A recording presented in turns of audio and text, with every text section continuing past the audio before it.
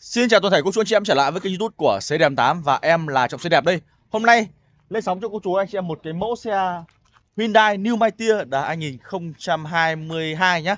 Xe một mẫu xe mới về. Hôm nọ em có chia sẻ một cái video cũng như hình ảnh uh, Sơ qua về mẫu xe này rồi. Hôm nay sẽ là một cái video review chi tiết hơn các bác nhá.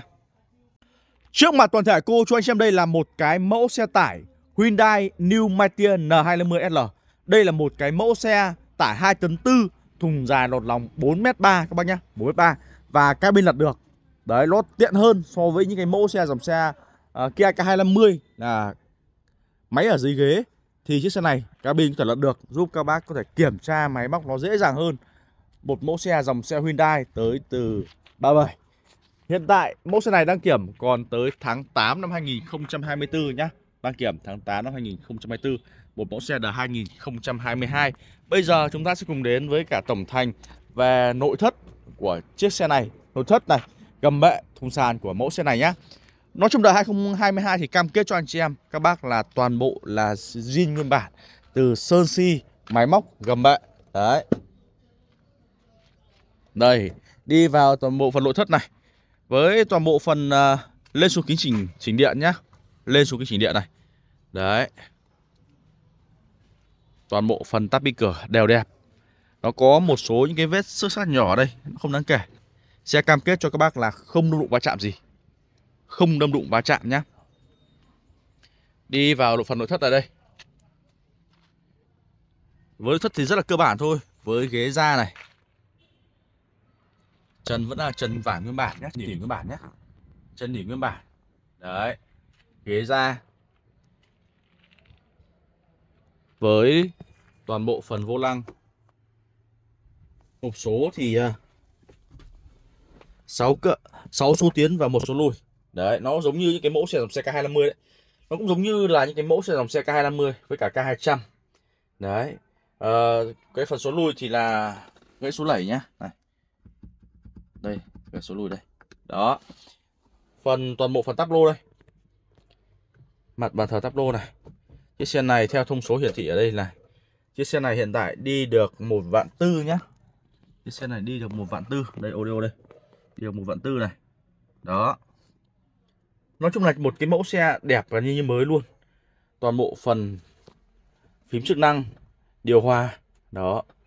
Đá FM đầy đủ cả. Tất cả chức năng nó Nói chung đời 2022 này nó gần như là những cái mẫu xe Đấy, những cái mẫu xe gần như là lướt rồi. Đấy một mẫu xe lướt đi được hơn một vạn. Anh chị em mà đang quan tâm, đang cần một cái mẫu xe với cái mức giá cực kỳ hợp lý nhé. Mức giá cực kỳ hợp lý thì có thể kết nối với em. Để có thể sở hữu cái mẫu xe này với cái mức giá ưu đãi. Đó là chia sẻ về toàn bộ phần nội thất cũng như là cabin của cái mẫu xe N250SL D2022 tiếp tới chúng ta sẽ cùng đến với cả phần thùng bệ. Chiếc xe này là một cái mẫu xe thùng mở lăm bừng, có bạt mới, tôn thành thùng nhà máy, thùng nhà máy này. Chiếc xe này thì hiện tại chưa có lót sàn, Vẫn đang là sàn sóng nguyên bản nhé Đây, toàn bộ phần sàn đây. Đấy, sàn sóng nguyên bản. Đẹp nhé Nguyên bản đẹp. Không có han gì mối mọt Và không cong võng gì cả. Đây, Toàn bộ phần sàn đây. Đấy đó. Thấp hơn một chút nhé đây mình kiểm tra kỹ lưỡng hơn. Tổ sàn này.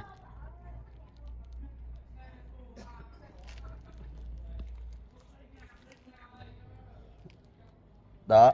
Ok. Đó là toàn bộ phần sàn gầm bệ. Ngó qua một chút vào phần lốp nhá. Lốp có khoảng tầm uh, trên 70 phần trăm. Ờ, tầm 80 phần trăm các bác nhé có khoảng tầm 80 phần trăm đấy. Những quả lốp đây. Chiếc xe một cái mẫu xe nguyên bản toàn bộ phần cua lốp đây. Cua lốp ừ, bánh sau thì thì cũng họ cũng đã có làm cái dè bằng inox rồi. Trang bị dè bằng inox rồi nhá.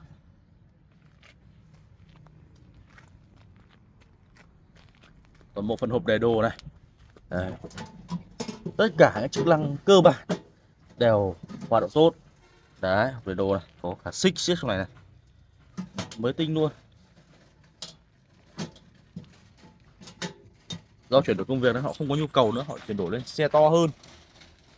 Toàn bộ phần bừng đít. Và bây giờ chúng ta sẽ cùng ngó qua về phần lót sàn nhé.